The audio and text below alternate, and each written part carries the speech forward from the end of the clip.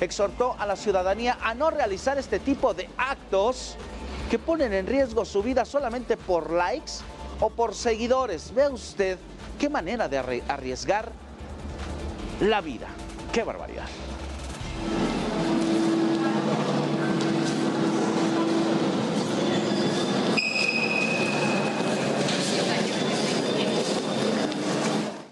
¿Se imagina la desgracia?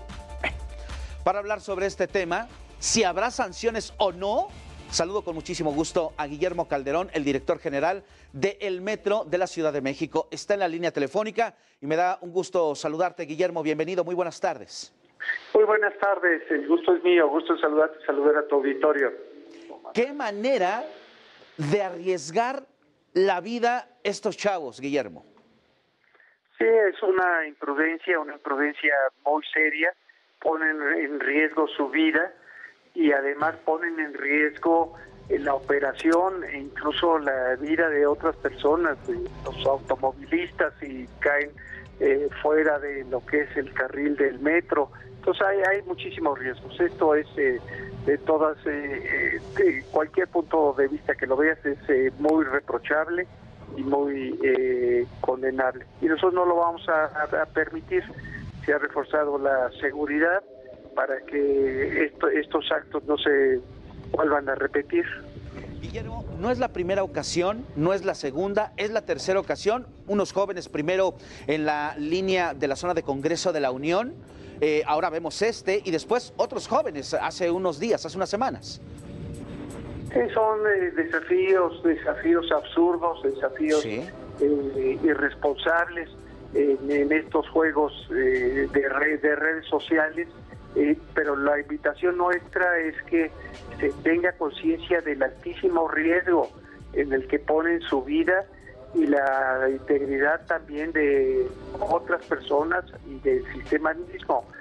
que pueden caer muy fácilmente a las vías, las vías están electrificadas, y producir un accidente eh, que les cueste la vida a ellos y que ponga en riesgo la operación y traslado de, mucha gente.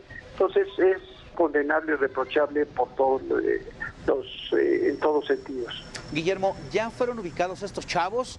Yo visitaba el día de ayer este canal en YouTube, tiene más de 80 mil visitas este, este video. ¿Va a haber sanciones? ¿Ya los identificaron? ¿Hay alguna orden de presentación al momento?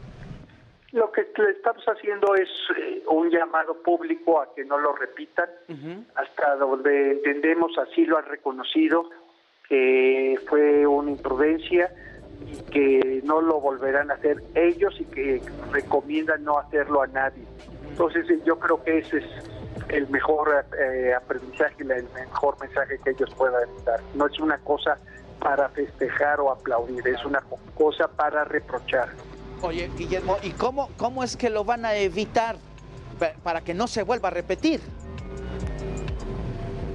¿De qué manera? Hay, estar muy atentos, hay una señal de alerta en todo nuestro sistema para que eh, eh los sistemas de seguridad, los policías eh, bancarios y, policía auxiliar estén atentos en cualquier intento de algún otro muchacho de hacer esto, eh, coordinarlo a que no lo haga y, evitar que esto se haga.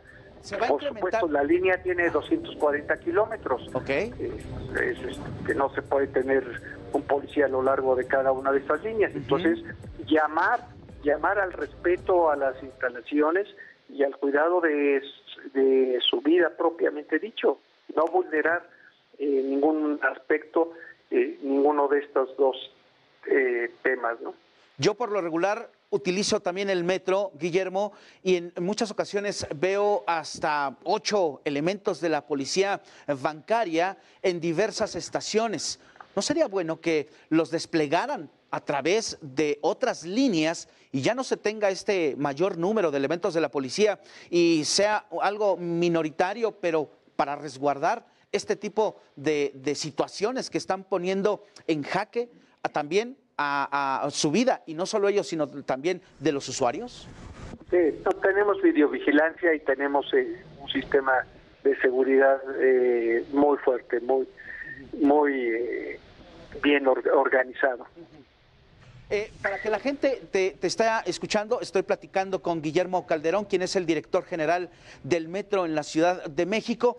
Guillermo, preguntarte, y la gente que no lo sabe, la gente que se le hace fácil en muchas ocasiones hasta hacer parkour adentro de las instalaciones, las vías, cada qué eh, eh, lugar o cada qué tiempo tienen electrificadas, cada qué espacio no, las vías están, todas las líneas están electrificadas desde las cuatro y media de la mañana o antes hasta después de las 12 de la noche. Entonces es, muy peligroso eh, entrar a los tramos de vía, ponen en riesgo, es alta tensión, no es eh, cualquier cosa, es una situación muy grave. Cuando nosotros tenemos que hacer alguna intervención, hay todo un protocolo de nuestro centro de mando, con los eh, diferentes equipos para hacer seccionamientos parciales de la energía eléctrica y poder eh, nuestros trabajadores hacer los mantenimientos o correcciones necesarias. Entonces, eh, no es cualquier cosa, es una cuestión muy riesgosa estar caminando en las vías o en los túneles. Muy bien. Pues para finalizar, Guillermo, y hablando de otro tema, ¿cómo va ya en estos momentos el avance de la línea 1 del metro La Rosa? ¿Cómo van? Vamos, vamos eh, trabajando eh, de 24 horas diarias. Ya ha ingresado al túnel eh, más maquinaria. Tenemos eh, abierto las rejillas de ventilación del salto del agua, el salto del agua de Galderas, por donde está ingresando esta maquinaria y hemos comenzado con el retiro de todos los sistemas, tanto de cableado como de vía. Y así iremos avanzando hasta dejar desvestido el túnel, rehabilitarlo y acto seguido comenzar a introducir eh, cada uno de los sistemas. Muy bien. Un mensaje para la gente que en estos momentos te ve, Guillermo Calderón lo que yo les digo a los usuarios de la línea 1 es que experimenten las diferentes opciones que hemos dispuesto en este tramo de Pantitlán a Banderas. Son ocho meses los que estaremos cerrados y hay varias opciones, varias opciones que están funcionando muy bien. Además de las líneas 9 y 5, que son las opciones naturales, hay sistemas de superficie como es el que se ha incorporado para Metrobús, Mexibus, la red RTP y la red de transporte de trolebuses. Entonces, experimentenlo, vayan definiendo sus eh, nuevas rutas de, viaje, la que más les convenga eh, en función de su destino. Pues yo te agradezco esta comunicación para con la gente, la gente que nos está viendo y te escucha en estos momentos. Guillermo Calderón, el director general del Metro en la Ciudad de México. Muchas gracias. Gracias a ustedes, un saludo más. Igualmente, muchísimas gracias. Ahí tiene usted los detalles de los que pues se atreven a desafiar subiéndose al metro, no lo haga. No termine así con su vida, pero ¿sabe qué?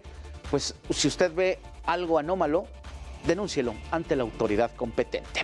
Gracias a Guillermo Calderón. Y ahora es momento del primer resumen de lo más relevante en las alcaldías de la Ciudad de México. Álvaro Obregón te invita al concierto del pianista Eric Cortés. Disfruta de la actividad este sábado a la una de la tarde en el Teatro Ignacio López Tarso del Centro Cultural San Ángel. Si estás en búsqueda de empleo, Benito Juárez tiene opciones para ti. Asiste mañana a la Microferia del Empleo, que estará en el Foro Parque Pilares de 10 de la